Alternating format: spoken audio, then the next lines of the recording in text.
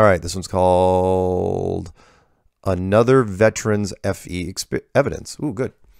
Hello, Mark. I'm a veteran that flew in the Navy EP 3 Orion surveillance plane, and I have a few things that could be possible evidence of the flat earth theory. I am not completely convinced of FE, but I see a lot of indications that point in that direction. I am also not a Christian, so I don't buy into the arguments that because primitive people's poetic description of the earth is somewhat similar to modern FE theory, that somehow proves the flat earth. I'm an analytical, logical, and open minded. However, and research conspiracies. So that got me into studying flat earth theory somewhat. Uh, I read that sentence as it was.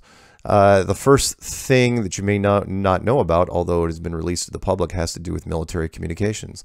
Like your guest from Australia was talking about when I was a linguist, when I wasn't writing on the P3, we were told that the transmissions we would receive for analysis at our base were transmitted either via satellite or via the U 2 spy plane.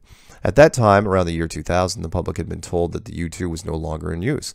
Several years later, they announced that they were using they were still in using the U2. Even though they said we had satellites, they could have been lying and using the U2 for all our communications. Or what I believe more likely is that they do have some satellites, but they're too expensive or difficult to use for most purposes.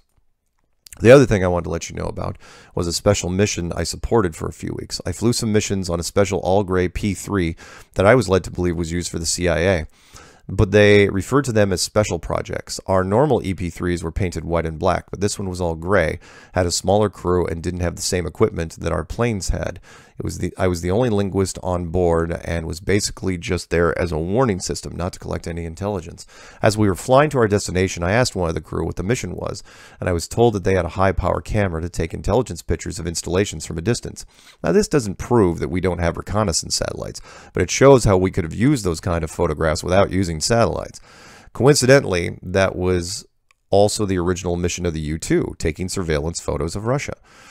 I'm sure I'm not supposed to talk about that mission, but I thought it might be relevant to your research. Let me know if you have any questions. And that's from Carl, and I won't say his last name just in case he gets in trouble.